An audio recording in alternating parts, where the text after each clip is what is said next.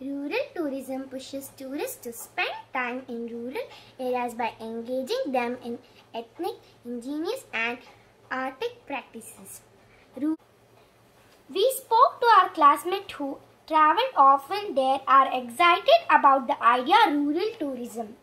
However, they are concentrate about the difficulties involved in planning a rural area as they said that it will be easy to plan a trip to rural location if they have friends and families living in rural localities with whom they could stay.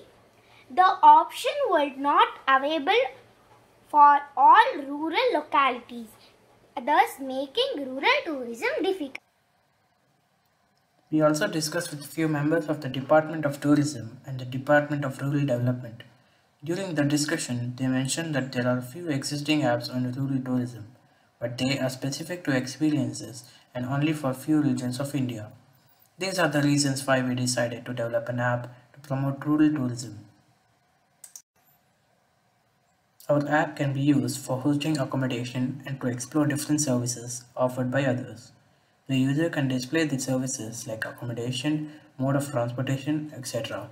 Details of the space needs to be gathered which will be later verified. After verification, the data will be displayed on the Travelers Explore section. This can be accessed by the user to explore different rural tourism locations in India and they plan to stay in these locations. Those intending to explore rural areas can view the type of experiences and living accommodation that are available in a particular village and sign up for their stay in a given location.